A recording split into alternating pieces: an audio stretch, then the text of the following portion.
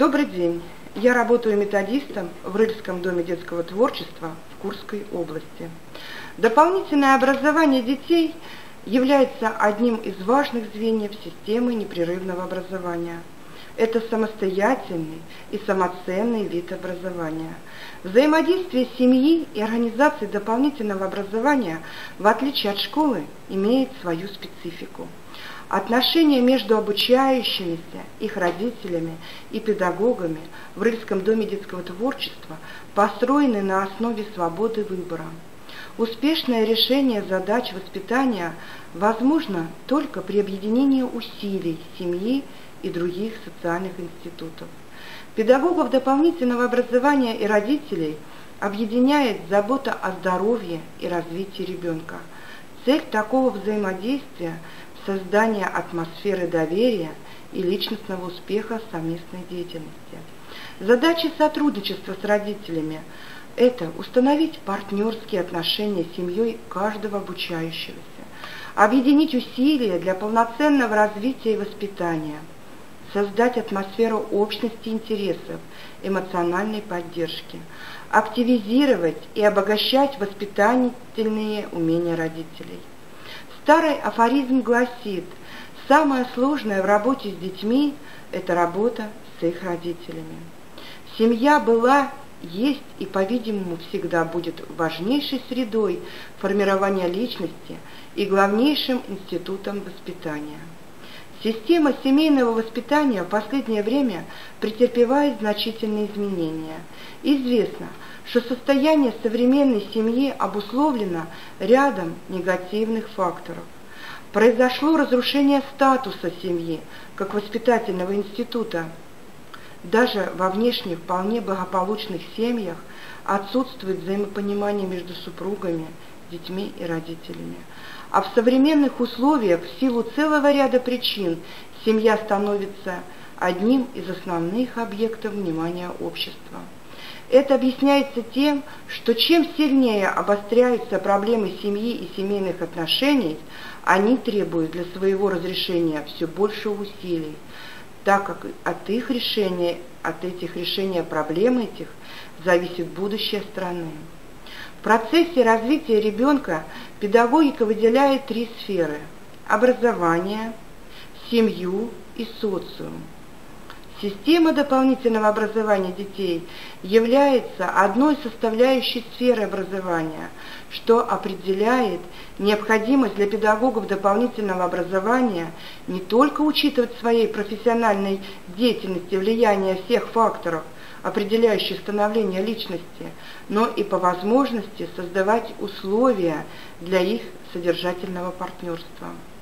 Семья представляет для человека психологическим убежищем от столкновения с внешней средой, местом становления духовных сил, эмоционального равновесия при стрессовых ситуациях.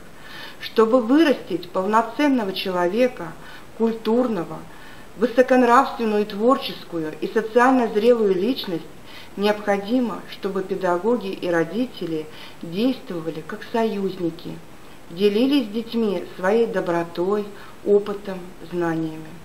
Жизнью доказано, что отсутствие любви и неумение хвалить и поддерживать своего ребенка – главная ошибка семейного воспитания. Главными компонентами семейного воспитания выступают климат семейного воспитания – это традиции, уют, отношения, режим семейной жизни и содержание деятельности – отца, матери, дедушки, бабушки, детей. Меняется роль и место родителей в образовательно-воспитательном процессе дома детского творчества. Актуальными становится взаимодействие семьи и ДДТ в интересах развития личности ребенка. В сотрудничестве с родителями педагоги видят большие воспитательные возможности. Многие семьи страдают от трудной социально-экономической ситуации. Изменились и качество самой семьи, прервалась преемственность традиций. Родители нередко проявляют неграмотность в вопросах развития и воспитания. Причинами семейных проблем становятся не только социальные трудности, но и неблагоприятный психологический климат, неумение строить внутрисемейные отношения, нанося значительный вред духовному и психологическому развитию становления личности ребенка. Главное предназначение семьи и любого образовательного учреждения – это становление личности.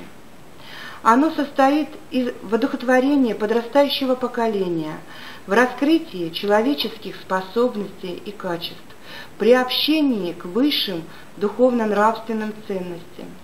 Без помощи семьи ни одно образовательное учреждение не может обеспечить высоких результатов воспитания. В этом контексте семья по отношению к учреждению дополнительного образования выступает уже не только как потребитель и социальный заказчик, но и, это очень важно, в роли партнера.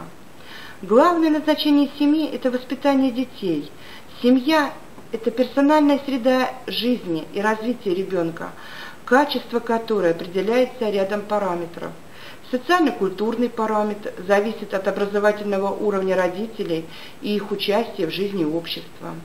Социально-экономический параметр определяется имущественными характеристиками и их занятостью родителей на работе. Технико-генический зависит от условий проживания, оборудования жилища, особенностей образа жизни. Демографический определяется структурой семьи какую бы сторону развития ребенка мы не взяли, видно, что решающую роль в его эффективности на любом возрастном этапе играет семья. Создание союза трех социальных сил – педагоги, дети, родителей – один из актуальных вопросов сегодняшнего дня. В Доме детского творчества большое внимание уделяется формированию позитивного имиджа семьи, развитию и пропаганде семейных ценностей и традиций, повышению социального статуса семьи. Отзывы родителей о работе Дома детского творчества, анкетирование родителей, общение с, родителями на родительских собраниях, результаты бесед педагогов с родителями дают возможность научить их учитывать их позицию при организации работы, работы, выборе форм и направлений деятельности. Поэтому не случайно каждый родитель – желанный гость творческих объединениях. Их мнение, пожелания, оценочные суждения учитываются педагогами при организации работы семьи. Воспитательная работа по сотрудничеству с семьей обеспечивается методически – к числу используемых методов воспитания мы относим методы формирования сознания личности, это формирование убеждений, взглядов, идеалов, беседы, лекции, личный пример для взрослых, методы организации деятельности и формирования общественного поведения, общественное мнение, поручения, создание воспитательных ситуаций, методы стимулирования поведения деятельности, соревнования, поощрения, благодарность, одобрение, методы самоконтроля и самооценки, педагогическое наблюдение, анализ результатов деятельности, психологические опросники, метод по степени самостоятельности мышления детей, частично поисковый. Главными функциями семьи являются воспитательная, оздоровительная, духовно-нравственная, познавательно-образовательная, бытовая, трудовая, культурно-просветительская, досугово-творческая, охранно-защитная. Взаимодействие семьи и Дома детского творчества направлено на активное включение родителей в учебно-воспитательный процесс, досуговую деятельность, сотрудничество с детьми и педагогами.